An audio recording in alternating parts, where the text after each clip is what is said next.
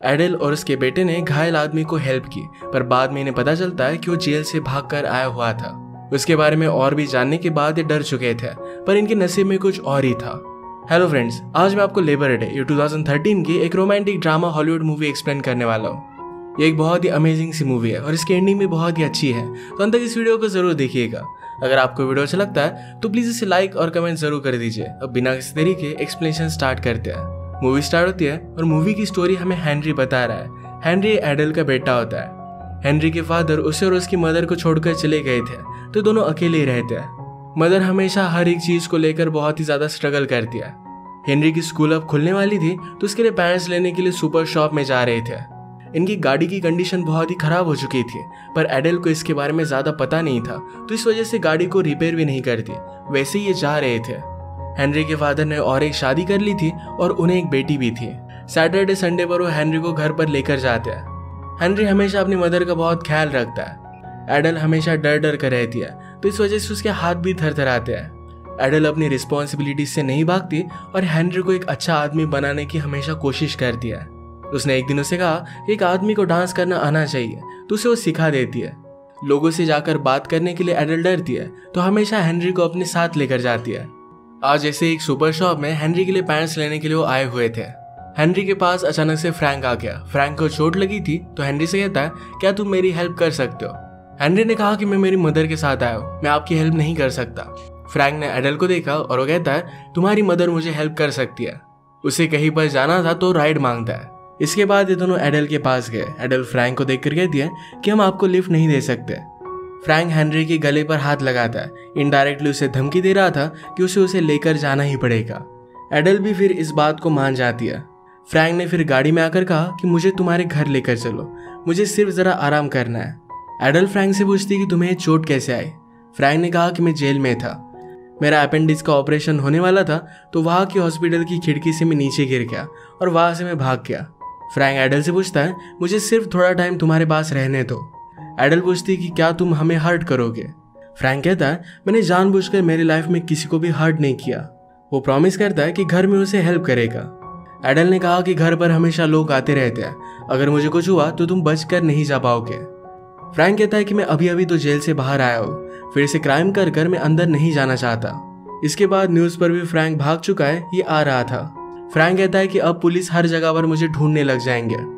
अगर किसी को पता चला कि तुमने मुझे सहारा दिया था तो तुम दोनों बहुत ही ज़्यादा ट्रबल में आ जाओगे। इसके लिए उसके पास एक सोल्यूशन था। वो कहता है कि मैं तुम्हारे हाथ पैर बाँध देता हूँ। इससे सब लोगों को लगेगा कि मैंने तुम्हें किडनैप किया था, और तुम पर कोई भी शक भी नहीं करेगा। एडल भी इस बात के लिए मान जाती है। उसने हेनरी को फ्री रखा था। इसके बाद वो कुक करने लग जाता है। वो एक बहुत ही अच्छा कुक था, और उसने एक बहुत ही अच्छी सी डिश बनाई। एडल के हाथ बंधे हुए थे तो अपने हाथों से उसे वो खिलाता है। हेनरी को एडल की एक बात याद आती है। एडल हेनरी को एक दिन समझा रही थी कि जैसे आदमी बड़ा होता है तो वो किसी ना किसी को तो पाना चाहता है। उसे लगता है कि उसकी लाइफ में कोई अपना हो। ये एक बहुत ही नेचुरल चीज़ है। हेनरी हमेशा वंडर करता है कि उसकी मदर की लाइफ में कोई भी आदमी नहीं। अब फ्रैंक यहाँ पर है तो क्या वो आदमी फ्रैंक हो सकता है? फ्रैंक ने एडल से पूछा कि ट्रेन कब से स्टार्ट होती है। एडल कहती कि सुबह ट्रेन स्टार्ट हो जाएगी। फ्रैंक का उन्हीं ट्रेन में से भाग जाने का प्लान था। हेनरी रात में एडल को देखने के लिए आया तो अपने बेड से बंधी हुई थी। फ्रैंक नीचे सो रहा था। हेनरी सुबह फ्रैंक से पूछता है, तुम इस तरीके से भाग कर कैसे आके? क्या तुम्हें कोई गार्ड वगैरह देख नहीं रहा था? फ्रैंक कहता कि गार्ड को स्मोक करने के लिए जाना था तो मैंने कहा कि जैसे तुम चले जाओगे, वैसे मैं इस खिड़की से कूद कर भाग जाऊँगा। गार्ड को यह मज़ाक लगा था और वो सचमुच में चला गया। अगर आप मज़ाक में इस तरीके से लोगों से सच बोल देते हो तो उस बात को सीरियसली लेते नहीं। फ्रैंक ने एडल को फ्री कर दिया था। वो पूछती है कि आज तुम मुझे क्यों नहीं बाँध रहे? फ्रैंक कहता है कि अब नीड नहीं है। अगर पुलिस ने तुमसे पूछा, क्या मैंने तुम्हें बाँध कर रखा था? तो तुम सच बोलोगी कि मैंने एक्चुअल में तुम्हें बाँध कर रखा था। फ्रैंक को ट्रेन की कोई भी आवाज़ नहीं आ रही थी। तो एडल कहती है कि लेबर डे का वीकेंड है तो इस वजह से कोई भी ट्रेन नहीं आएगी। अब दो तीन दिन के लिए वो फंसे हुए थे। फ्रैंक उन पर कोई भी बोझ नहीं बनना चाहता था तो इसी वजह से घर में सब काम करने लग जाता है। उसने स्टेज को रिपेयर कर दिया, गाड़ी भी खराब थी तो गाड़ी को ऑयल भी वो चेंज कर देता है। एडल को एक आदमी ज़्यादा प्राइस में लकड़ियाँ बेच रहा था तो फ्रैंक ने उसे वार्न किया। पूरे घर की भी वो साफ़ सफ़ाई करता है। हेनरी को बेसबॉल खेलना भी उसने सिखाया। अचानक से उनका नेबर आ जाता है।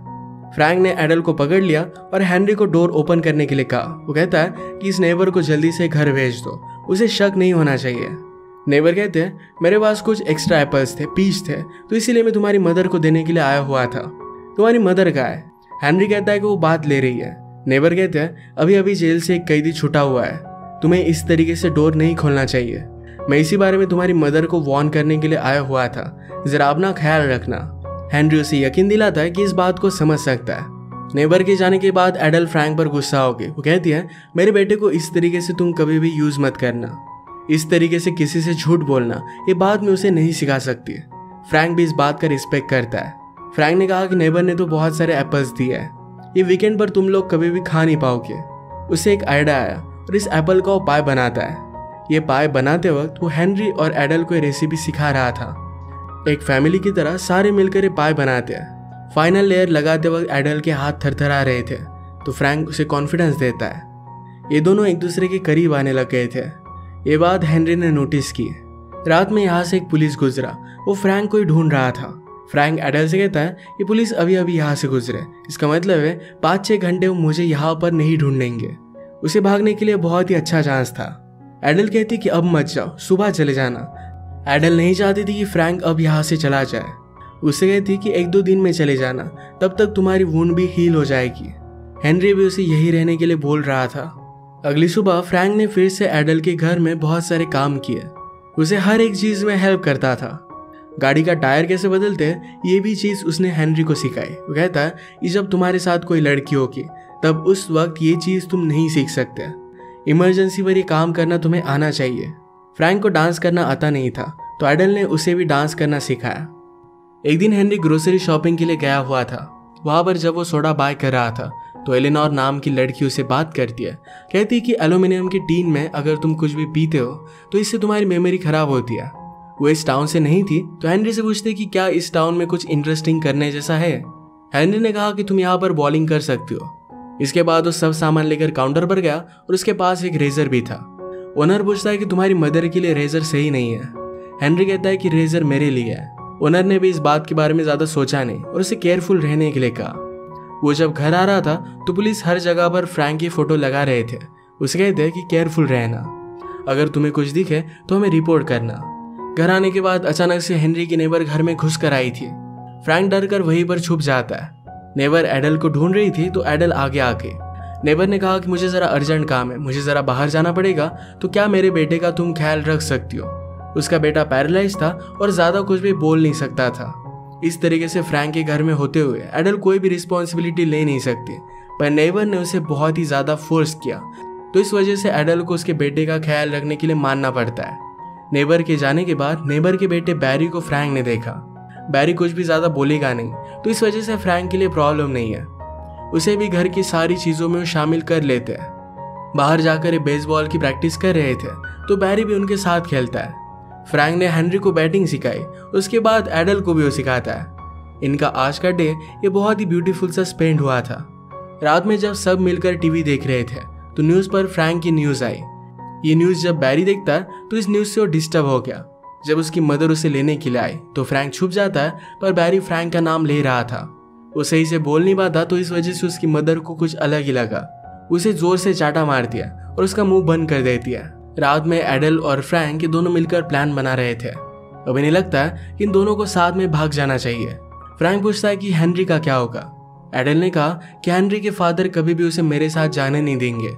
एडल का प्लान बना कि हेनरी के फादर को बताए कि नहीं और वैसे ही उसे लेकर चली जाएगी। यह बात हेनरी को पता नहीं थी। उसे लगता है कि शायद एडल और फ्रैंक ये दोनों एक साथ ही भाग जाने वाले हैं। उसे अपने फादर के पास अकेला छोड़कर जाएँगे। इस बात से उसे बहुत बुरा लगा। फ्रैंक के ऊपर मर्डर का चार्ज था और इसी वजह से वो जेल में था। वैडल से कहता है कि मैंने किसी का भी मर्डर नहीं किया। मुझ पर एक्सीडेंटली इल्ज़ाम लगा था। एक्चुअल में फ्रैंक जब बहुत ही यंग था तो एक लड़की उसे पसंद आई थी। उसके साथ उसका अफेयर हुआ और एक दिन उस लड़की ने उससे कहा कि मैं प्रेग्नेंट हूँ। इसी वजह से फ्रैंक ने उसके साथ शादी कर ली थी। बाद में फ्रैंक को पता चला कि उसकी वाइफ का अफेयर चल रहा है। वो एक दिन उसे कन्फर्म करता है कि क्या ये बेबी मेरा है? तो उसकी वाइफ कहती है, तुम एक बहुत ही बड़े फूल हो। उसका बेटा नहीं था। उसे मार रही थी तो फ्रैंक ने सिर्फ़ उसे पुश किया और इसी वजह से सर पर चोट लगने की वजह से उसकी वाइफ की डेथ हो गई। फ्रैंक ने ऊपर जाकर देखा तो उसकी वाइफ ने अपने बेटे को बाथ टब में डालकर उसका मर्डर कर दिया था। इस सब की वजह से पुलिस को लगा था कि फ्रैंक ने अपनी फैमिली को मार डाला। ये सिर्फ़ एक एक्सीडेंट था और इसमें फ्रैंक की कोई भी गलती नहीं थी। एडल कहती कि बात तुम्हें सब लोगों को समझानी चाहिए। फ्रैंक ने कहा कि अब उस इंसिडेंट को बहुत ज़्यादा टाइम हो चुका है, कोई भी मुझ पर बिलीव नहीं करेगा। सुबह होने पर एडल हेनरी को कहती है कि हम कनाडा जाने वाले हैं। इसके बारे में और भी हमें इन्फॉर्मेशन चाहिए तो लाइब्रेरी में जाकर कुछ बुक्स लेकर आओ। यही बुक जब हेनरी ले रहा था तो उसे फिर से एलेनॉर दिखती है। हेनरी ने उसे पूछा कि तुम यहाँ पर कैसे आई? एलेनॉर कहती है कि मेरे फादर और मदर का डिवोर्स हो चुका है। वो पहले अपनी मदर के साथ रहती थी, पर मदर का अब एक बॉयफ्रेंड है। उसके साथ वो शादी करना चाहती थी तो इसी वजह से एलेनॉर को उसके फादर के पास उसने भेज दिया है। हेनरी कहता है कि मेरी मदर का भी अभी अभी एक बॉयफ्रेंड बना है। एलेनॉर कहती है कि बॉयफ्रेंड की वजह से आदमी जरा पागल हो जाता है। वो क्या डिसीज़न लेते हैं, ये उन्हें पता नहीं चलता। एलेनॉर ने कहा कि तुम्हें अपनी मदर से जाकर बात करनी चाहिए। हेनरी को यह बात इतनी ज़्यादा सही नहीं लगती। अब वीकेंड आ चुका था तो हेनरी के फादर उसे लेकर जाते हैं। फादर कहते हैं तुम्हें स्कूल के स्पोर्ट्स में अब जरा ध्यान देना चाहिए। हेनरी कहता है कि मैं डांस करना चाहता हूँ। फादर ने कहा कि अगर तुम डांस करोगे तुम्हें लोग जरा अलग समझेंगे। ये सब चीज़ें बताने के लिए घर पर कोई भी आदमी नहीं है। तो इसी वजह से मैं तुम्हें ये सब बता रहा हूँ। हेनरी कहता है कि आपको किसने कहा कि घर पर कोई भी आदमी नहीं है? फादर और भी इसके बारे में जानना चाहते थे तो हेनरी कहता है कि आपको क्या फ़र्क पड़ता है? फादर ने कहा कि तुम मेरे बेटे हो। तुम कहा हो? किसके साथ हो? इससे मुझे बहुत फ़र्क पड़ता है। घर पर आने के बाद हेनरी जरा अपसेट था। एडल उसे पूछती है कि क्या हुआ है? मुझे तुमसे कुछ बात करनी है। मैंने और फ्रैंक ने डिसाइड किया है कि हम भागकर कनाडा में चले जाएँगे। हेनरी रोने लग गया। वो पूछता है, क्या मैं तुम्हें फिर से कभी देख पाऊँगा? एडल कहती कि, तुम ऐसे क्यों बात कर रहे हो? तुम मेरे साथ चलोगे। वो फिर उसे गले लगा लेती है। अब सब मिलकर सामान वगैरह पैक करने लग गए। एक दिन हेनरी एलेनॉर से मिलने के लिए आया। एलेनॉर हेनरी को फ्रैंक के बारे में पूछती है तो हेनरी ने कहा कि वो अच्छा है? हम सब मिलकर कनाडा जा रहे हैं। एलेनॉर बहुत ही स्मार्ट थी। वो कहती है कि, अब स्कूल स्टार्ट होने वाली है और तुम सब लोग भाग रहे हो। क्या प्रिजन से जो कैदी भागा हुआ था क्या वही तुम्हारी मदर का बॉयफ्रेंड है? हेनरी हाँ कहता है। एलेनॉर ने हेनरी से कहा, ये तो बोनी एंड क्लाइड की तरह हो गया। वो दोनों भी चोर थे और ऐसे ही भाग रहे थे, पर पुलिस ने उन्हें मार डाला था। एलेनॉर अकेली थी तो हेनरी भी उसे छोड़कर ना जाए। इसी वजह से उसे डराने की वो कोशिश कर रही थी। फ्रैंक को अपनी चोट से ज़्यादा तकलीफ़ होने लग गई थी। एडल कहती कि मैं फार्मेसी से जाकर कुछ मेडिसिन लेकर आती हूँ। फ्रैंक इसके लिए मना कर रहा था, पर फिर भी एडल को इसकी ज़रूरत लगती है। वो जाकर गाड़ी में बैठी, पर इसे स्टार्ट ही नहीं कर पाती। एक चीज़ थी जो उसे खाई जा रही थी। फ्रैंक ने आकर उसे पूछा, क्या तुम मेरे साथ नहीं आना चाहती? एडल कहती कि ऐसा कुछ भी नहीं है। जब मैंने हेनरी की डिलीवरी की, उसके बाद और एक बच्चा होने के लिए हमने ट्राई किया था।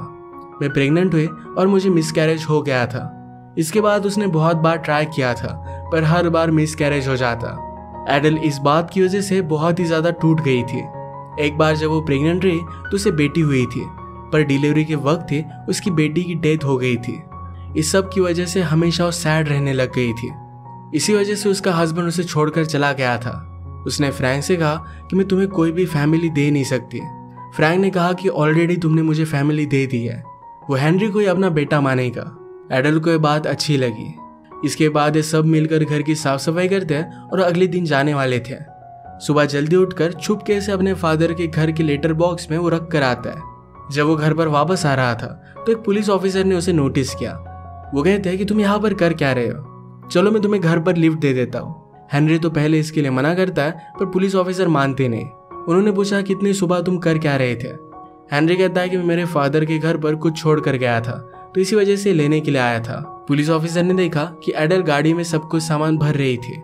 ये उसे जरा सस्पिशियस लगा। आकर वो एडल से बात करता है। वो कहता है कि क्या आप कहीं पर जा रही हो? एडल ने कहा कि कुछ दिनों के लिए हम जरा ट्रिप पर जा रहे हैं। आज सब बच्चों की स्कूल स्टार्ट हो रही थी तो ये और भी ज़्यादा सस्पिशियस था। पुलिस ऑफिसर कहते हैं कि मैं आपकी जरा मदद कर देता हूँ। कुछ बॉक्सेस रखने में उसने एडल को हेल्प की। उसे ज़्यादा कुछ भी सस्पिशियस लगा नहीं। जाते वक्त वो एडल का हैंडशेक ले रहा था, पर एडल का हाथ थरथरा रहे थे तो हेनरी उसका हैंडशेक करता है। ऊपर से फ्रैंक छुप कर ये सब कुछ चीज़ें देख रहा था। पुलिस ऑफिसर के जाने के बाद फ्रैंक कहता है, अब हमें जल्द से जल्द यहाँ से चले जाना चाहिए। एडल और हेनरी फिर ये दोनों बैंक में आए। बैंक से सारे पैसे विड्रॉल कर रहे थे। ये बात जरा वहाँ की एम्प्लॉय को सस्पिशियस लगे तो अपने मैनेजर के पास गए मैनेजर एडल से कहता है कि अगर आप इतनी ज़्यादा अमाउंट विड्रॉल कर रहे हो तो जनरली लोग चेक में लेते हैं। एडल कहती कि आजकल मैं ज़्यादा घर से बाहर निकलती नहीं तो इसी वजह से सब पैसे निकाल रही थी। फिर भी उसे सस्पिशियस लग रहा था। तो हेनरी हँसते हँसते कहता है कि हम दोनों बॉनी एंड क्लाइड की तरह इस कंट्री से इलीगली अलग कंट्री में जाकर रहने वाले। इसी वजह से सारा अकाउंट खाली कर रहे हैं। मैनेजर ने इस पर हंस दिया और सारे पैसे उसे दे देता है। ये बात हेनरी ने फ्रैंक से ही सीखी थी कि अगर आप इस तरीके से सच बोलोगे तो लोग आपको सीरियसली लेंगे नहीं। इसी के पैरेलल में फ्रैंक जब घर पर था तो अचानक से एडल की नेबर घर में घुस कर आती है उसने फ्रैंक को देख लिया। वो एडल के बारे में पूछती है तो फ्रैंक कहता है कि जरा बाहर गई है। मैं घर की फिक्सिंग करने का काम कर रहा हूँ। नेबर को शक चला गया और वहाँ से वो चली जाती है। एडल के वापस आने से पहले, फ्रैंक को घर पर कॉल भी आया था। ये हेनरी के फादर का था और वो वरीड थे। एडल जब घर पर आई तो फ्रैंक कहता है कि हमें जल्दी से यहाँ से निकल जाना चाहिए। लोगों को शक होने लग गया है। अचानक से पुलिस के सायरन की आवाज़ आने लग गई। ये रियलाइज़ करता है कि अब वो भाग नहीं सकते। फ्रैंक ने फिर रस्सी लेकर एडल और हैनरी दोनों को बाँध दिया। फ्रैंक हैनरी से कहता है कि तुम एक बहुत ही अच्छे लड़के हो। अगर किसी लड़की ने तुम्हें बैड फील कराया तो लड़की तुम्हारा टाइम डिजर्व नहीं करती। फ्रैंक एडल से कहता है कि मैंने तुम्हारे साथ जो टाइम स्पेंड किया, इसके लिए मैं फिर से अठारह साल जेल में जा सकता हूँ। इसके बाद फ्रैंक ने सरेंडर कर दिया। उसने एडल और हेनरी के हाथ बांधे थे, यानी सबको लगे कि एडल उसमें इन्वॉल्व नहीं थी, उसे कोई भी प्रॉब्लम ना आए। फ्रैंक को अरेस्ट होकर फिर से सजा हो गई। एडल ने प्रोस्टिक्यूटर से बात कर कर फ्रैंक को जेल से बाहर निकालने की कोशिश की, पर प्रोस्टिक्यूटर एडल से कहता है कि अगर तुमने सब कुछ सच सच बता दिया तो शायद तुम्हें प्रॉब्लम आ सकता है। तुम्हारी हेनरी की कस्टडी भी जा सकती है। एडल हेनरी को खोना नहीं चाहती थी तो इस वजह से वो कुछ भी कर नहीं पाती। कुछ मंथ के बाद एडल ने रियलाइज़ किया था कि हेनरी को अपने फादर के पास रहना चाहिए तो अपनी कस्टडी उसने दे दी थी। उसने फिर फ्रैंक से मिलने की भी कोशिश की थी, पर फ्रैंक सोलिडरी में था तो जेल में उसे मिल नहीं पाया। वो हर रोज उसे लेटर लिखती थी, पर बाद में सब लेटर उसके वापस आके फ्रैंक को ऑलरेडी ट्रांसफ़र हो चुका था। इसके बाद हम देखते हैं कि बहुत सारे साल गुजर जाते हैं। हैनरी अब कॉलेज में जाने वाला था।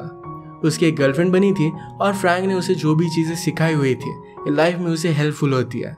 एक दिन हेनरी के फादर ने उसे बात की, कहा कि तुम्हारी मदर बहुत ही ज़्यादा ब्यूटीफुल थी। वो हमेशा प्यार में रहना चाहती थी। जब हमारी लाइफ में प्रॉब्लम आए तो बहुत ही ज़्यादा सैड हो चुकी थी। अगर कोई दूसरा आदमी होता तो उसे हेल्प करता। पर बहुत ज़्यादा टाइम गुजर चुका था और मैं एक नॉर्मल लाइफ चाहता था। तो इसी वजह से मैंने तुम्हारी मदर को छोड़ दिया। मैंने तुम्हारे साथ ये जो सारे साल बिताए मैं सिर्फ़ तुम्हारे साथ बॉन्डिंग करना चाहता था। मैं तुम्हें खोना नहीं चाहता। हेनरी भी अपने फादर को माफ़ कर देता है। उसने फादर से कहा कि लास्ट समर में मेरी मदर के साथ बिताना चाहता हूँ। वो पूरा समर एडल का ख्याल रखता है। इसके बाद और भी साल गुजर गए। हेनरी की शादी हो गई थी। उसने अपनी एक बेकरी डाली थी, जो रेसिपी फ्रैंक ने उसे सिखाई थी। उसकी बहुत ही फ़ेमस बन गई थी। एक मैगजीन में भी उसकी फ़ोटो आई थी। ये फ़ोटो जेल में फ्रैंक देखता है और इसे उसने पहचान लिया। उसने फिर हैंनरी को एक लेटर लिखा। वो कहता है कि उस पर वो बहुत ही ज़्यादा प्राउड है। अब वो जेल से निकलने वाला था और चाहता था कि एडल के साथ वो जाकर रहे, एक फैमिली की तरह रहे। ये करने के लिए पहले उसने हेनरी की परमिशन ली। हेनरी लिखता है कि मदर का एड्रेस चेंज नहीं हुआ है। आप उन्हें लेटर लिख सकते हो। हेनरी भी चाहता था कि उसकी मदर खुश रहे। फ्रैंक ने फिर लेटर लिखा और जिस दिन वो जेल से बाहर निकला तो एडल उसका वेट कर रही थी। इतने साल सिर्फ़ एक दूसरे से ही इन्होंने प्यार किया था। फिर से एक दूसरे से मिले और जो भी टाइम इनके पास अब बचा है, एक साथ ही स्पेंड करेंगे, एक दूसरे का ख्याल रखेंगे। इसी के साथ ये मूवी एंड हो जाती है। एक बहुत ही अनएक्सपेक्टेड और अलग ही सिचुएशन की एक रोमांटिक मूवी थी। अगर आपको वीडियो अच्छा लगता है तो प्लीज़ इसे लाइक और कमेंट ज़रूर कर दीजिएगा। बहुत सारी मूवीज़ लेकर आते रहते हो तो प्लीज़ इस चैनल को सब्सक्राइब कर दीजिए और बेल नोटिफिकेशन आइकॉन दोनों मत भूलिएगा। हम फिर से मिलेंगे और एक नमू के साथ। तब तक के लिए थैंक यू और आप अपने आप का ख्याल रखिए।